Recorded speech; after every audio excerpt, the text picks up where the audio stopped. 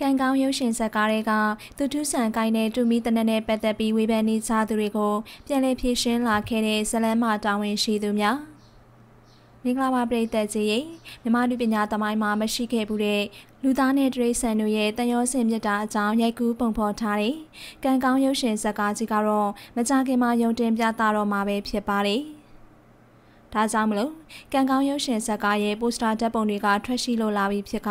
အဆိုပါပိုစတာတွေကတရုတ်ဆောင်သူထူးဆန်းကင်ဆောင်ထားတဲ့တူမီတနက်နဲ့ပတ်သက်ပြီးအငင်းပွားမှုတွေဖြစ်ပေါ်နေတာလည်းဖြစ်ပါတယ်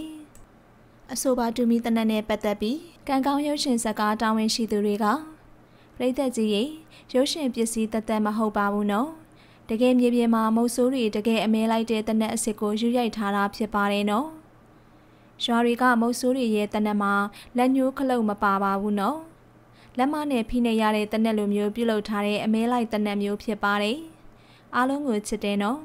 အခက်ခဲတွေအများကြီးတဲ့ကရိုက်ထားတဲ့ကံကောင်းဇက်ကားလေးကိုလာရောက်အားပေးကြပါဦးနော်ဆိုပြီးပြန်လည်ဖြည့်ရှင်းလာခဲ့တာပဲဖြစ်ပါတယ်ကံကောင်းရုပ်ရှင်ဇာတ်ကားဟာရုပ်ရှင်ဇာတ်ကားဆိုပေမယ့်ပြင်ပနဲ့အနီးဆက်ဆုံးတူအောင်ဖန်တီးထားတာဖြစ်တယ်လို့လည်းဆက်လက်ပြောကြားလာခဲ့ပါတယ်။ ကံကောင်းရုပ်ရှင်ဇာတ်ကားကြီးကိုယခုလာမယ့်နိုဝင်ဘာလအတွင်းမှာပဲရုံတင်ပြသသွားတော့မှာမို့ပြည်သက်ကြီးကလည်းစောင့်မျှော်ကြည့်ရှုအားပေးကြပါအောင်ရှင်။